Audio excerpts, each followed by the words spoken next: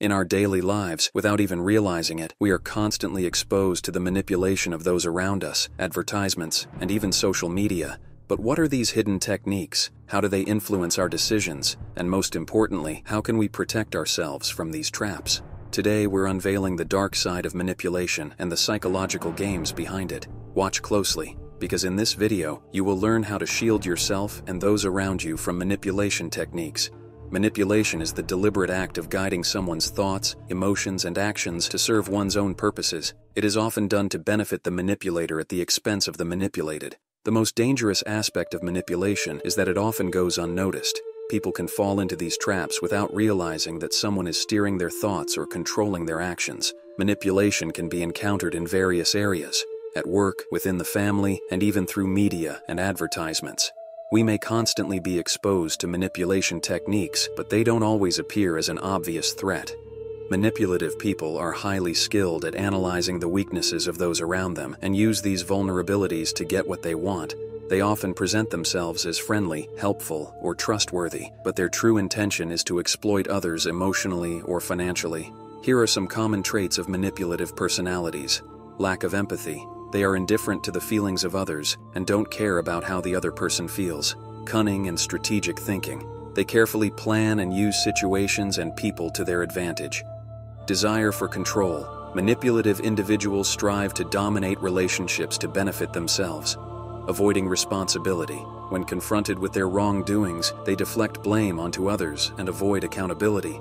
Skilled liars. Manipulators are adept at twisting the truth and lying to suit their needs. They can distort facts to justify their actions and make themselves seem right. Gaslighting. Gaslighting is a method by which a manipulator makes a person doubt their own reality. In this technique, the manipulator constantly questions the experiences, feelings, or memories of the other party, leading them to feel that they are wrong.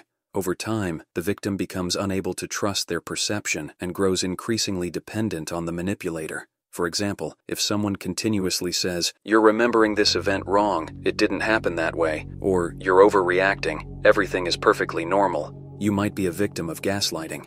Guilt induction. In this technique, the manipulator keeps inducing feelings of guilt in the other person to control them. The person unconsciously feels compelled to fulfill the manipulator's wishes, as not doing so would make them feel bad and guilty. An example might be statements like, While I make so many sacrifices for you, not doing this is really selfish, which can push the other person to comply with the manipulator's requests. Love bombing. Love bombing is when a manipulator overwhelms someone with excessive attention and affection to gain control over them. This technique is especially common in romantic relationships.